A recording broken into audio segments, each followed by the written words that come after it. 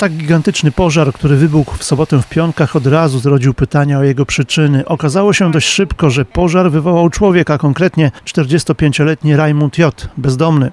19 stycznia w prokuraturze rejonowej w Zwoleniu e, Rajmund J. usłyszał zarzut sprowadzenia zdarzenia zagrażającego mieniu wielkich rozmiarów poprzez podpalenie składowiska odpadów z tworzyw sztucznych znajdującego się na terenie firmy Bomax w Pionkach i wywołanie w związku z tym pożaru, który objął obszar 40 tysięcy metrów kwadratowych i jednocześnie mm, z uwagi na skalę tego zdarzenia zagrażał e, eksplozją składowanych w sąsiedniej firmie e, materiałów wybuchowych.